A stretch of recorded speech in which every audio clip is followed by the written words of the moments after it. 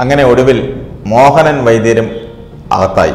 തൃശൂർ പീച്ചി പോലീസാണ് അദ്ദേഹത്തെ അറസ്റ്റ് ചെയ്ത് ജയിലിലടച്ചത്. കൊറോണയ്ക്ക് മരുന്ന് കണ്ടുപിടിച്ച് വ്യാജ ചികിത്സ നടത്തിയതിനാണ് അദ്ദേഹത്തെ അറസ്റ്റ് ചെയ്തത്. അദ്ദേഹം പല ചികിത്സകളും സംസ്ഥാനത്ത് നടത്തി പല രോഗികളെയും അദ്ദേഹം ചികിത്സിച്ച് ഭേദമാക്കിയെന്നാണ് അദ്ദേഹത്തിന്റെ അവകാശവാദം. പക്ഷേ ഈ അവകാശവാദങ്ങളെല്ലാം തെറ്റിച്ചുകൊണ്ട് പല രോഗികൾക്കും മരണം വരെ ഉണ്ടായ സംഭവങ്ങൾ നടന്നിട്ടുണ്ട്.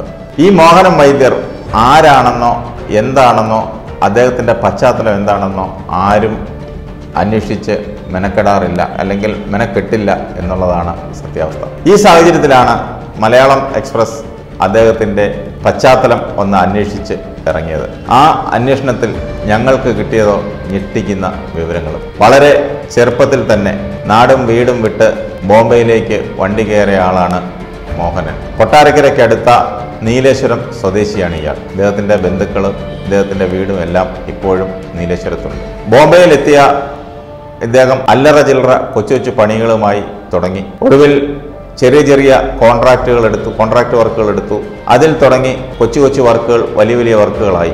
ഒടുവിൽ വലിയ രണ്ട് വർക്കുകൾ എടുത്തത് നഷ്ടത്തിൽ കലാശിച്ചു. അങ്ങനെ കടക്കാരനായി ബോംബെ നഗരം വിടേണ്ട സ്ഥിതിയായി. അങ്ങനെ ബോംബെയിൽ നിന്നും മുങ്ങിയ മോഹനൻ നായർ മോഹനൻ വൈദ്യരായിട്ടാണ് നാട്ടിൽ പ്രത്യക്ഷപ്പെട്ടത്. അദ്ദേഹത്തിന്റെ സ്വന്തം നാടായ കൊട്ടാരക്കരയിൽ പോലും അദ്ദേഹം രോഗികളെ ചികിത്സിച്ച് വലിയ പേരെടുത്തു. ഇദ്ദേഹത്തിനടുത്ത് വരുന്ന രോഗികൾ വളരെ ആശ്വാസമായി രോഗം ഭേദമായി മടങ്ങിപ്പോകുന്ന കാഴ്ച പലരും കണ്ടിട്ടുണ്ട്. അങ്ങനെ കൊട്ടാരക്കരയിൽ തന്നെ ഒരു പ്രശസ്ത ആയുർവേദ ആശുപത്രിയിൽ ഇദ്ദേഹത്തിന്റെ ചികിത്സ ഉണ്ടായിരുന്നു എന്നുള്ളതാണ് വസ്തുത. ഇദ്ദേഹം അവിടെ പല രോഗികളെ ചികിത്സിക്കുകയും പലർക്കും മരുന്ന് കൊടുക്കുകയും ചെയ്തു ഒടുവിൽ പരാതി വന്നു. ആ പരാതിയുടെ അടിസ്ഥാനത്തിൽ അവിടെ നിൽക്കക്കള്ളി ഇല്ലാതെ വന്നാണ് അദ്ദേഹം കായംകുളത്ത് പോയി ഒരു ക്ലിനിക്ക് തുടങ്ങി ഒരു ഫാർമസി. ആ ഫാർമസിയിലും ഇങ്ങനെ ആളുകളെ ചികിത്സിച്ച് അതവിടെയും പരാതി വന്നപ്പോൾ ആരോഗ്യ വകുപ്പും അവിടുത്തെ നഗരസഭയും ചേർന്ന് അത് ആ ക്ലിനിക്കും പൂട്ടിച്ചു. ഇദ്ദേഹം ചെല്ലുന്നിടത്തെല്ലാം നല്ല ആൾക്കൂട്ടവും ഒരുപാട് രോഗികൾ ഇദ്ദേഹത്തെ കാണാനും എത്തുമായിരുന്നു. സമൂഹ മാധ്യമങ്ങളിൽ കൂടി ഇദ്ദേഹം നിറസാന്നിധ്യമായതോടെ രോഗികളുടെ എണ്ണവും വർദ്ധിച്ചു.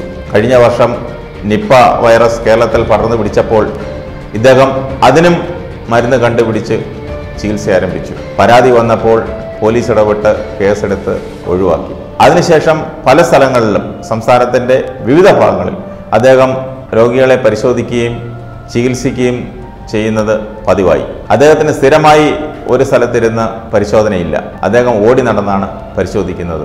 വിവാദമായ രോഗങ്ങൾക്കെല്ലാം ആയുർവേദത്തിലും ഹോമിയോപ്പതിയിലും അലോപ്പതിയിലും ഒന്നും കണ്ടുപിടിക്കാത്ത മരുന്നുകൾ പോലും ഇദ്ദേഹം കണ്ടുപിടിച്ച് ആ രോഗങ്ങൾക്ക് ചികിത്സ നടത്തും എന്നുള്ളതാണ് ഇദ്ദേഹത്തിന്റെ പ്രത്യേകത. വിവാദ വളരെ വലിയ വിവാദങ്ങളിൽ ചെന്നപ്പെട്ട മോഹനം വൈദികർ. അവസാനം കൊറോണയ്ക്ക് മരുന്ന് കണ്ടുപിടിച്ച് ചികിത്സ ആരംഭിച്ചു. ഇങ്ങനെ കൊറോണയ്ക്ക് ചികിത്സ ആരംഭിച്ചപ്പോഴാണ് പീച്ചി പോലീസ് തൂക്കിയെടുത്ത് ജാമ്യമില്ലാ വകുപ്പിൽ ഉൾപ്പെടുത്തി ജയിലിലടച്ചത് ഇതുപോലെ വ്യാജ വൈദ്യന്മാർ കേരളത്തിൽ അങ്ങോളം ഇങ്ങോളം രോഗികളെ പരിശോധിച്ച് വ്യാജ മരുന്നുകൾ നൽകി തട്ടിപ്പുകൾ നടത്തുന്നുണ്ട്. ഇത് എത്രയും വേഗം കണ്ടെത്തി ഇതിനൊരു പരിഹാരം കണ്ടുപിടിച്ചില്ലെന്നുണ്ടെങ്കിൽ വലിയ വിപത്തിലേക്ക് നീങ്ങുമെന്നുള്ളത് ഉറപ്പാണ്.